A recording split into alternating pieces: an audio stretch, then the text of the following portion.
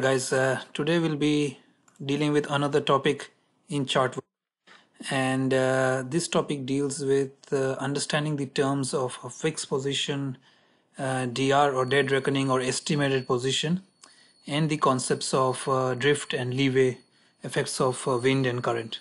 All right so let's start with the concept of fix what is the fixed position? The fixed position is obtained through the intersection of two or more position lines. And it's denoted by a circle so the intersection of the two or more position lines uh, as obtained from through some kind of reliable position fixing system uh, other than GPS or um, other than GPS yes uh, so this is normally obtained through uh, two ranges and two bearings and ranges of uh, fixed objects uh, such as lighthouses or islands uh, or it could be through two position lines obtained from celestial observations such as one longitude by chronometer and one intercept or one intercept and one meridian passage uh, so on and so forth. All right so this is obtained through uh, reliable so this is a accurate position of the ship uh, which is based on um, intersection of two or more position lines. Then we have the concept of dead reckoning or estimated position.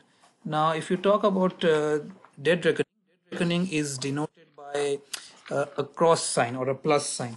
So as you can see here that from the fix if we can assume that uh, the vessel would have steered a course due east of 090 degrees uh, doing a speed of 10 nautical miles per hour at the end of the one hour the next hour say about 10 o'clock uh, the vessel would have reached the DR position marked uh, by the cross so dead reckoning uh, is the process of determining the position of the vessel by the vessel's course, speed and time steamed.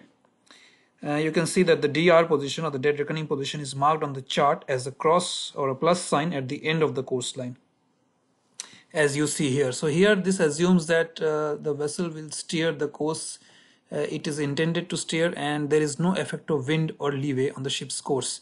But this is hardly the case. This is a very rare uh, such cases happen because when the vessel is at sea it is uh, definitely it will have some effect of uh, tidal currents or uh, effect of wind or leeway on its course. So let's see what is the effect of uh, wind and currents on a ship's course. All right? So this is a very rare occurrence that you see through the animations here. All right? So in the next couple of slides we'll be asking or we'll be answering the following questions that what happens to our position when there is a strong wind and how do we estimate where our ship will be? And how do we find the course we expect to make good? All right so let's start with estimating position.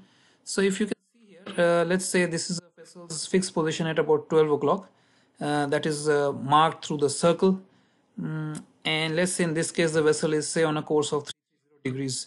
So after one hour uh, the dead reckoning position at 1300 hours should be where you see the plus sign in the diagram right but let's say if there is a wind acting and the wind is shown by half arrows uh, uh, normally three of them and you can see a wind uh, is acting on the vessel's course and the effect of the wind is called the leeway. So leeway is the effect the wind has on the vessel.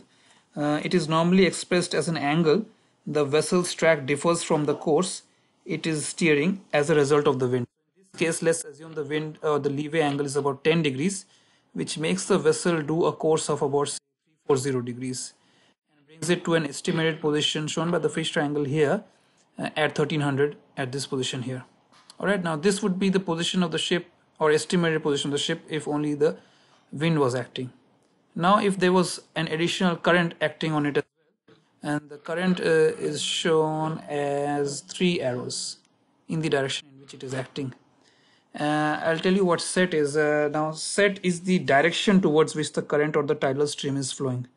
It is uh, normally expressed in degrees uh, of true uh, direction. So the direction is true. Now if there was current acting on it as well, the estimated position of the vessel would not be at EP1 but rather at EP2 and this is where the vessel would be if uh, wind of uh, or leeway was 10 degrees and a current was setting as well. In that case the vessel would not be steering the courses as marked by the orange lines but the marked by the purple line. And this is denoted by double arrows as you can see. So the double arrows here uh, present the resultant movement of the vessel in the selected time of interval. And it's also called the course made good. So the expected course made good or CMG would be as shown by the double arrows here. All right.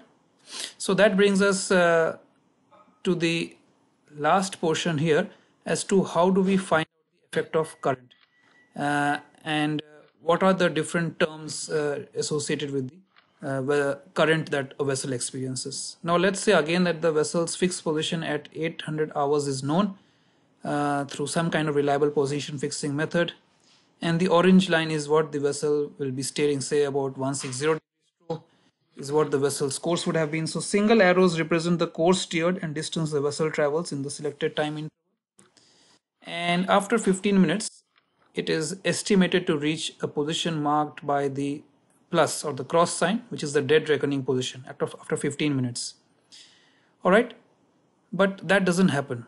Now, after 15 minutes, when you actually obtain another fix, and that could be a radar range and bearing from a lighthouse, you observe that the vessel's fixed position is as marked by the circle at 815. So instead of reaching at the DR position marked by the cross, your vessel is at the fixed position marked by the circle. Now that will help us determine the set drift and rate of current and I'll show you how. So basically you calculate after 15 minutes where the vessel would have been and then you find out where the vessel is actually after 15 minutes and that will become the course made good. So to find the effect of the current you basically measure firstly the direction from the DR position to the fixed position. That will give you the direction of the tidal stream. That is the set. That is called the set so set becomes the direction towards which the current or tidal stream is flowing. Drift is the total distance. So in this case let's say the drift or the distance between dr 0815 and fixed 0815 is about 1 nautical mile. So 1 nautical mile is the distance the current or the tidal stream moves over a specified time. So in that case the rate sorry the rate becomes the rate of the current which is the velocity of the current becomes 4 knots. So if uh, drift is 1 knot in 15 minutes the rate will be about 4 knots in 1 hour. Alright so that is the difference. So set is the direction drift is the total distance and rate is the velocity. So if you have if the drift is only 1 nautical mile in 15 minutes that means the rate will be 4 nautical miles in 1 hour. So these are the differences. So basically this is another basic uh, uh, lesson on chart work. Before I go too deep into chart work, I wanted you guys to uh, familiarize yourselves with the uh, terms such as dead reckoning and fix and understand how the leeway affects uh, or the uh, currents affect the course and how the resultant course is then called course made good and how to understand calculating the direction of the current which is the set and what is the difference between drift and rate. All right? So i hope these uh, slides were useful to you and this video was useful to you. Uh, if it was then please let me know and i will make more videos on chart work. But before i do that i wanted you guys to be very sure of what's going on here. All right? So thank you very much for watching and thank you for subscribing. Keep subscribing to get notification on my further videos and i'll see you soon with my next video